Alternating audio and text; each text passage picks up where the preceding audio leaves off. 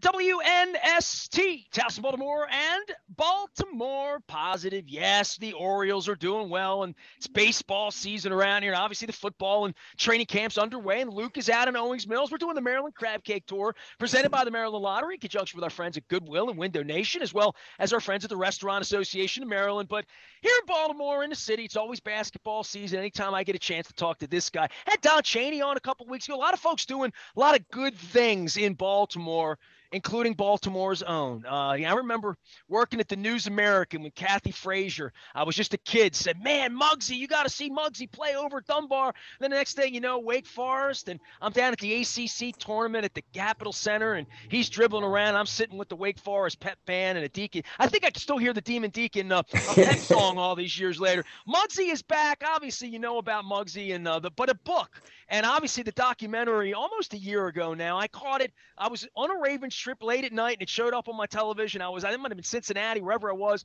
and I sat and watched it. My life from a kid in the projects um, to the godfather of small ball. Uh, Muggsy is here, standing tall as he always does on the uh, Zoom. What's up, brother? How are you, man? Welcome home to Baltimore. It's always good to visit with you. Oh, it's a pleasure to be here with you as well. It's always good to be back at the city. Well, all right. So books, uh, telling life stories, all that stuff. I mean, dude, you were a life story, five foot, whatever you were in 1984. Uh, you had, to, you know, you were always different. You always had a story to tell.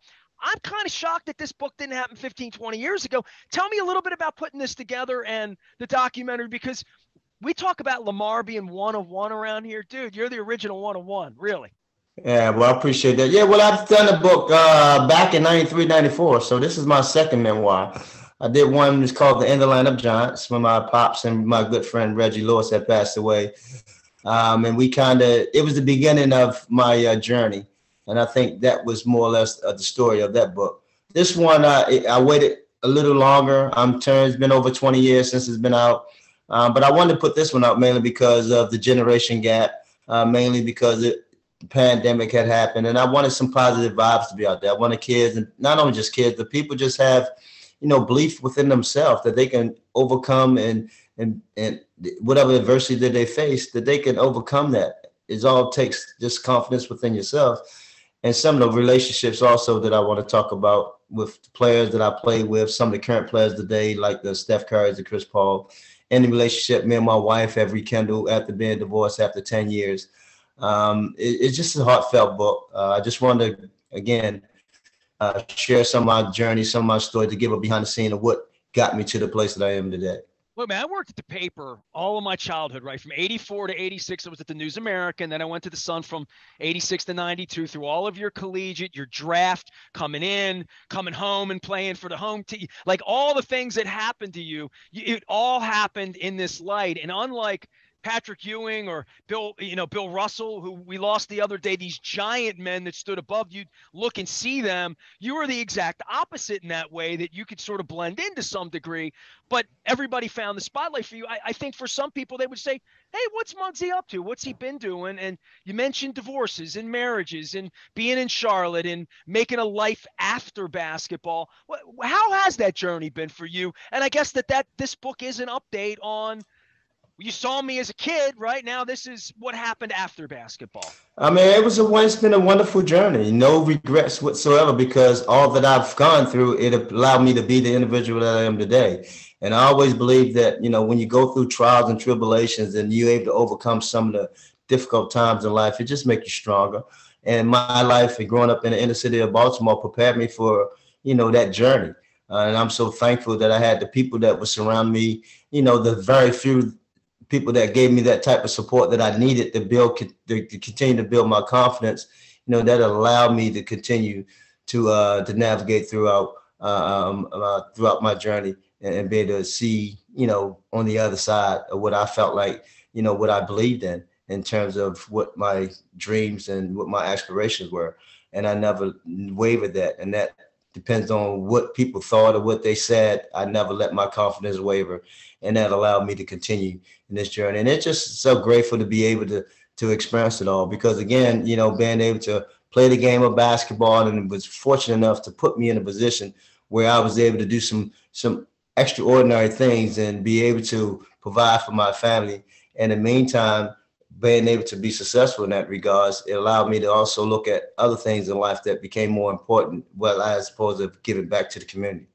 Well, for, for you to have that opportunity, and I remember, I mean, we're almost the same age, and Bob Wade uh, putting a group of really special guys together to play basketball. But there were a lot of things that happened long before you got there that got you there, right? And and especially Absolutely. on playgrounds where you are the smallest guy. And I know things are tough now, and the city's different at this point. But but people people looked after you right and people stepped up for you in a way that allowed that to happen to, to give you an opportunity that i think a lot of folks don't get that opportunity in the modern era uh, there's a lot of resources in the city here that have deteriorated since your time uh, 40 years ago yeah, that's true. And the recreation center is one of them. Uh, recreation centers were mainly a safe haven for a lot of the kids there.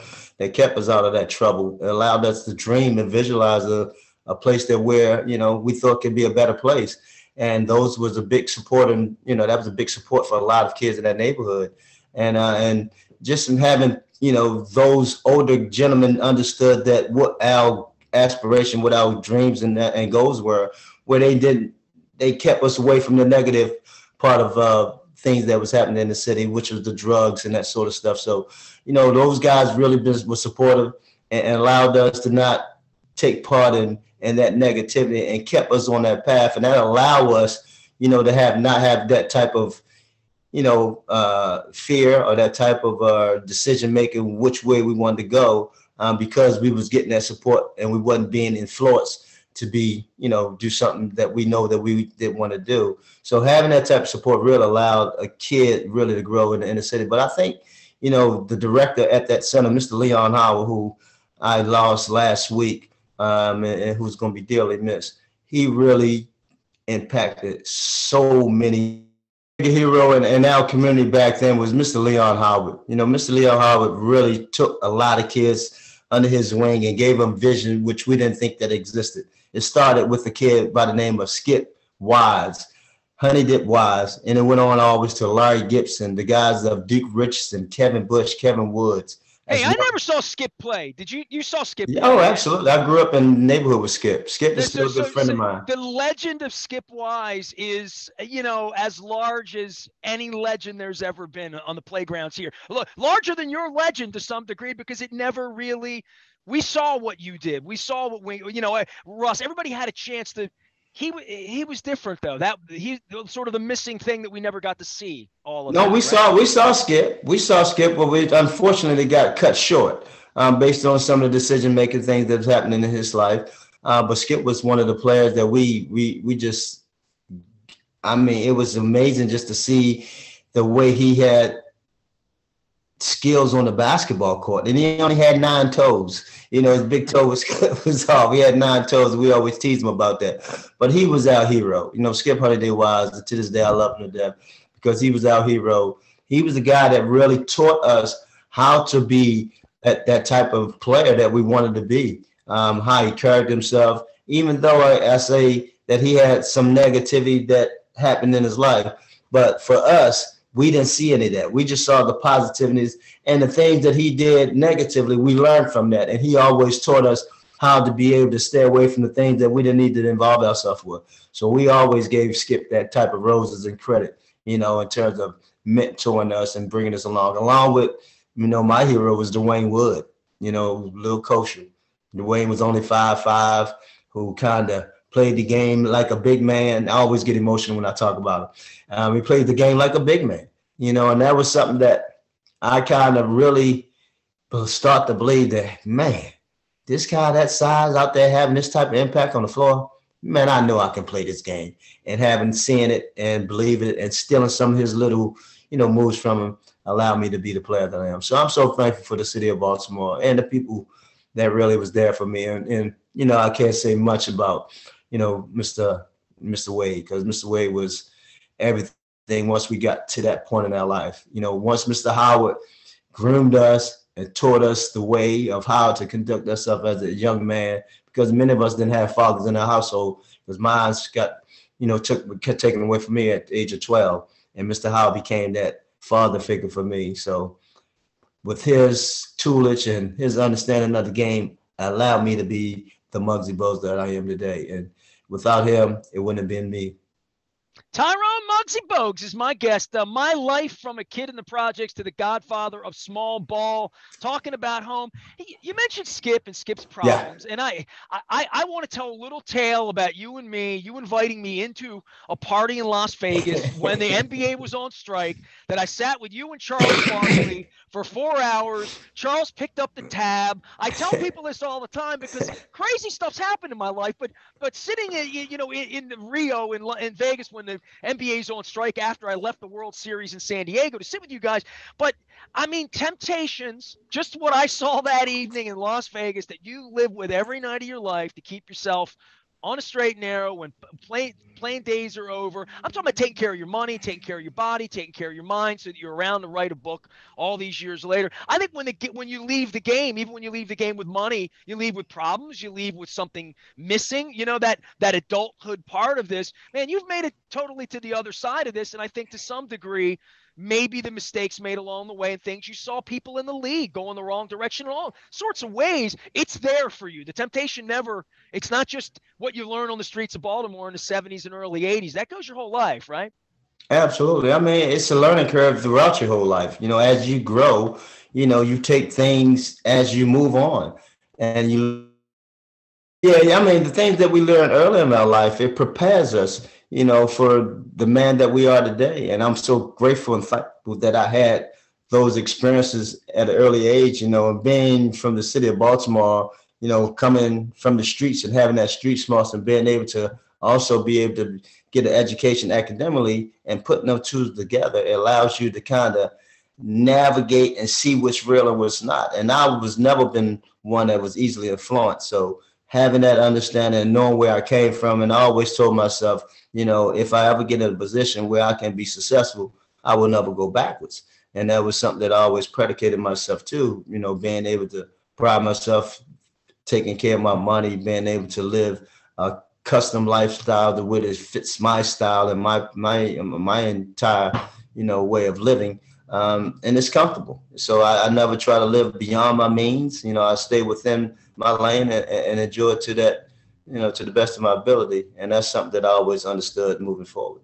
What do you do when you come back to Baltimore? I know you're, you're going to be grieving this time around when you come back with friends and stuff like that, but you come back here. I don't know how often you do. I know you're active. I, you know, we get together once in a while. First, first time on Zoom, we you call in every couple of years. You're doing something here. What's important to you when you come back to Baltimore about where what's become of Baltimore, its reputation to some degree. A lot of folks are working on it. A lot of local guys. I mean, Smith, Aaron maybe. I, I can name names, but guys like you that are associated with Baltimore. I know it's important to you when you come back here, and it's important that we we we leave it better than we found it, which isn't always the case right now. Absolutely. And you mentioned some great names. Torrey Smith, you know, I I had an event up there last month for my sister um, where we continue to honor her legacy. She was a big part of Baltimore. She ran all the inner city programs, the BNBL, the projects of our the football leagues, all the youth programs for Park and Rec.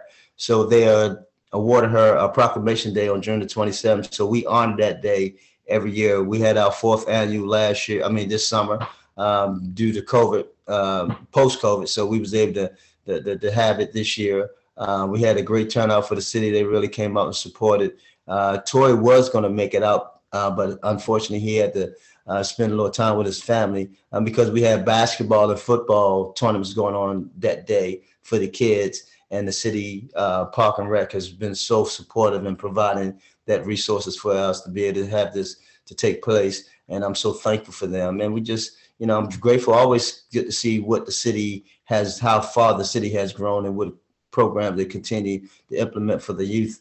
Um, and also, I got my family there. You know, I got my grandson, my daughter, my granddaughter, um, as well as my brothers and my aunts and niece and nephews and all of them still there. So it's a good opportunity to go back and see family and, uh, and spend a lot of time with them dude, you're an icon for anyone. I mean, young kids don't know about you. You know, it's like you can do it. You can do it no matter how tall you are. You know, I mean, you can do it, and you're living proof of that. And I think that that story that transcends anything about basketball or about sports that you can do it, right?